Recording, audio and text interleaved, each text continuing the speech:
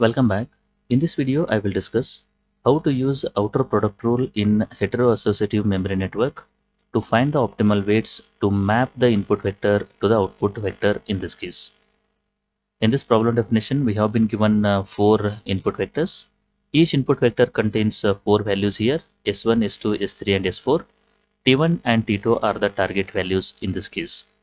Given this particular data, we need to use outer product rule to find the weight matrix so that we can map this particular input vectors to the output vectors over here.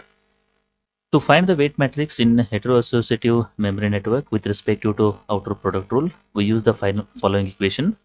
W is equal to summation of uh, P is equal to 1 to the number of uh, inputs here. S transpose of P multiplied by T of P in this particular case. Now what is S? S is the input vector and T is the target vector over here. Now we will start with the first uh, pair. The first pair is uh, 1 0 1 0 that is the input. T is 1 0 that is the target over here. Now we need to use this particular equation to calculate the weight matrix with respect to the first one.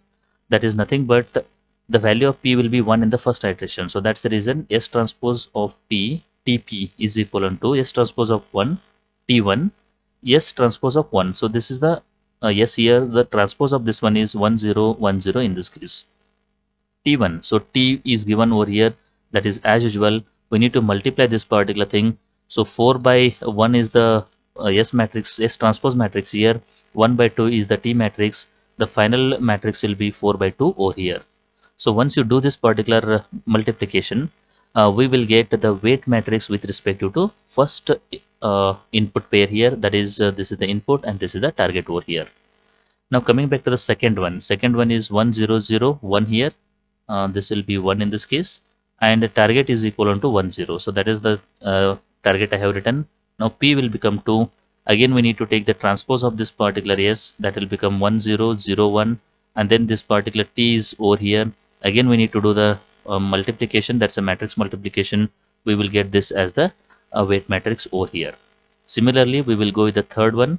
The pair is 1100 and 01 p is equal to 3 once i do the again same calculation over here i will get this particular weight matrix. The same thing will be repeated for the last one that is 0011 and 01 is the target over here. We will get this as the final the weight matrix with respect to, to fourth input over here now what we need to do is uh, we need to take the summation of all these particular things so that we will get the final weight matrix.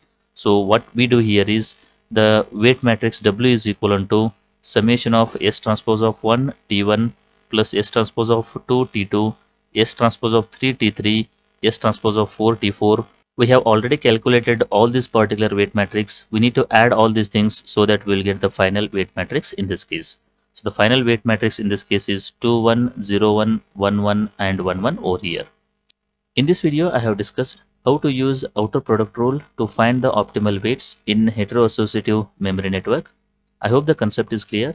If you like the video, do like and share with your friends. Press the subscribe button for more videos. Press the bell icon for regular updates. Thank you for watching.